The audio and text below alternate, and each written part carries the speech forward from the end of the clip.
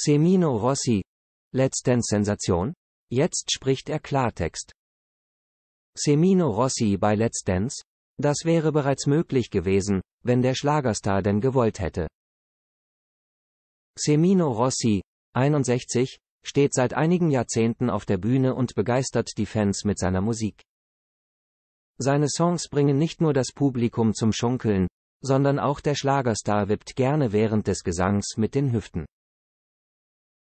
Richtige Tanzerfahrung hat der in Österreich lebende argentinisch-italienische Sänger jedoch nicht, und das wird sich wohl auch nicht mehr so schnell ändern.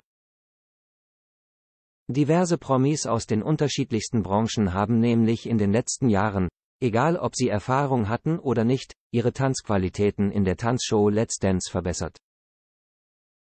Selbst Promis, die am Anfang ihrer Let's Dance-Reise kein Tanzgefühl besaßen, konnten am Ende jedenfalls die Grundschritte.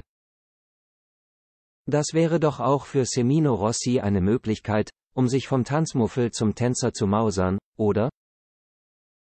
Tatsächlich verriet er im Interview mit Schlager.de, dass es bereits eine Anfrage von RTL gab, diese jedoch beherzt abgelehnt hat. Am Anfang haben sie mich mal gefragt, ob ich dabei sein könnte. Aber da habe ich gesagt, das ist nichts für mich. Man muss schon wissen, wie das geht. So einfach ist Tanzen nicht. Klare Ansage von dem Rot sind die Roseninterpreten. Doch vielleicht überlegt es sich Semino ja auch in der kommenden Zeit nochmal. Schließlich konnten die Profitänzer schon dem einen oder anderen Grobmotoriker das Tanzen beibringen. Let's Dance 2024 die Schlagerszene ist mit Gabriel Kelly trotzdem vertreten. Auch wenn Semino Rossi bisher immer Nein zu Let's Dance gesagt hat, so haben sich andere Schlagerstars bereits auf das berühmte TV-Tanzparkett gewagt. Darunter beispielsweise Vanessa Mai, Maite Kelly und Ella Endlich. 2024 ist Gabriel Kelly, 22, der Sohn von Angelo Kelly mit dabei.